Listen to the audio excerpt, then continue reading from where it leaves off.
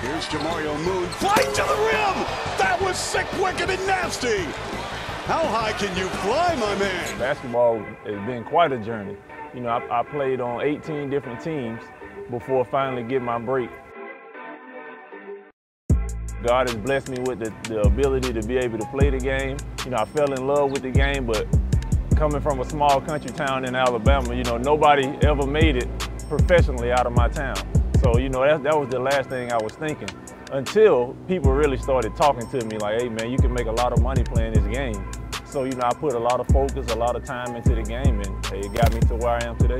Every year, my, my grind was the same, regardless of if, if I was under contract or if I was, you know, working to get a new contract. I always had the same grind. You know, I went in the gym, I worked hard, I put in my time, and, you know, I, I was just dedicated to the game because I love the game so much. So I, I really wasn't thinking about, you know, the contract or the money. You know, I was just, just loving to play the game, and I was doing it, and it was helping me keep the lights on. Cavaliers have to reverse that. Oh, it looked like it was intended for Nesterovic, and Moon came out of nowhere. Wow. When I came to Toronto, you know, like I said, I was just a country boy from Alabama, you know, and to come here into, to this big city, man, the people embraced me. They, they made me feel at home, made me feel welcome.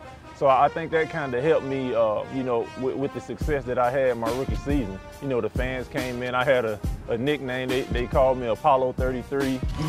Oh, my goodness! Apollo 33 just landed here in Philadelphia. So it kind of, you know, helped me calm down a little bit. I, I, the first game I played, I really didn't have any nervous uh, butterflies. So, you know, I, I, really thank the fans of Toronto for, for embracing me and making me feel like a son. Basketball to this city is everything.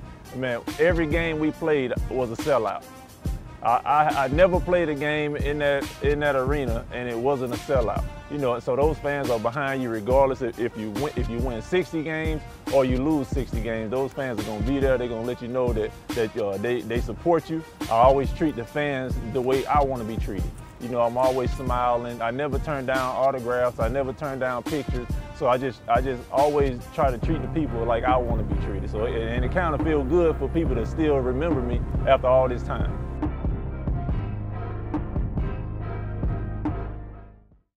Yo, what's up? Deshaun Me Ice Cube. It's Dave Chappelle. This is Gary Payton. Hey, this is Drew Gooden. George Iceman Gervin. I'm Michael Rapaport. It's your boy Glenn Big Baby Davis. And guess what? You are watching SLiC. SLiC. SLiC. You're watching SLiC. You know what you're doing. You're watching SLiC.